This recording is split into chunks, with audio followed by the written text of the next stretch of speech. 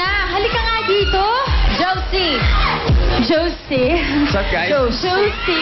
Hello, isang kaya.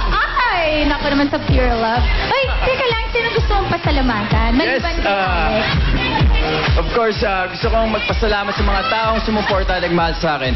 Siyempre, unang-una doon ng ABS-CBN Management, Star Cinema, Pure Love Family, Star Magic Family, Tito Karen Pascual, As a Family, all the fans. Thank you so much. Oh, thank you so much. Also, happy birthday, Joseph. Please blow your... Ano, birthday I wish you all the best, Josie, okay? And be happy all the time. Come on, Blow your cake. Joseph, eto naman ah. Okay, mag-wish ka muna. Okay, na-wish mo. Okay na.